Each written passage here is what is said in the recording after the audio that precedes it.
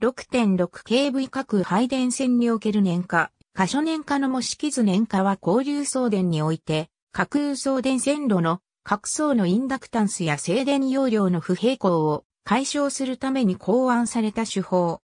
交流送電では、主に3小3線送電方式が用いられている。この送電方法では、各層120度ずつの位相角のズレとなり、全体の位相の和が0となるが、架空送電において、架空送電線の線路の位置が異なると、場所によって、相関、もしくは第一間において、作用するリアクタンスや静電容量が異なり、力率にズレが生じる。そのため送電中で、送電線路をひねることで、各層の電圧、電流のズレを解消し、三小スター決線の中性点、または変圧器の中性点に残留電圧を発生することを防ぎ、効率よく送電が行うことができる。つまり、年化を行うことで送電による電力損失を減少させることができる。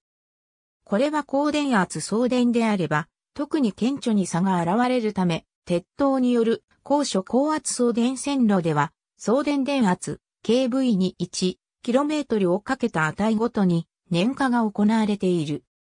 また、通信線への誘導を低減することができることから、最も簡易な損失削減手法として国際的に用いられている。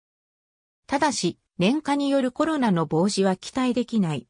ありがとうございます。